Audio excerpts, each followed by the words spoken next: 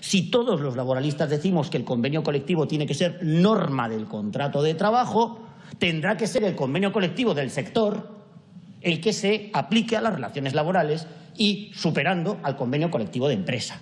Esto es algo absolutamente evidente, absolutamente evidente. Ha sido siempre así. Además, por otra parte, ¿qué se trata? ¿Por qué es así?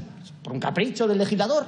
No, para equilibrar las fuerzas, para que no haya empresas en una situación de debilidad en donde una de las dos partes, sea la empresarial, sea la social, sea la laboral, pueda imponer sus condiciones a la otra para equilibrar los bancos negociadores y para que de esa forma además se extiendan sus efectos sobre todo un sector. Por ejemplo, pues, en el ámbito de los abogados, el convenio colectivo de oficinas y despachos, que se aplica a todos los despachos de abogados, de gestores administrativos, de asesores fiscales, etcétera. Y todos se rigen por las mismas condiciones.